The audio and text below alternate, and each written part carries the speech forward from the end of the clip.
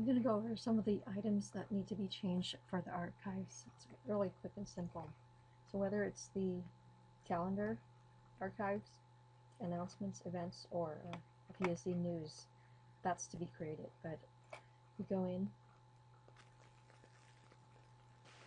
if you can put the newest items first, that would be very helpful because once we get a list of uh, you know two years worth of items, if you sort it with the newest first, it's easier for users to uh, find what they need.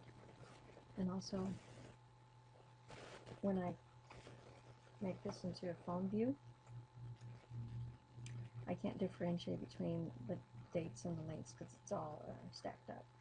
So if you can make the links in blue, that would be great.